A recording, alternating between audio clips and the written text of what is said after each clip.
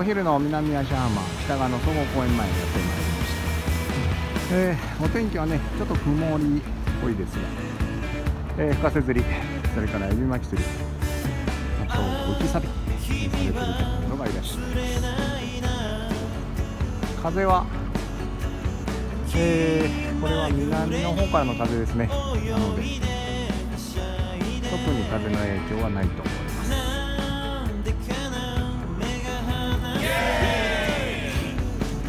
りがとうございます。はい羽根ちゃんが釣れております。エビマキちゃんですね。こんな感じで。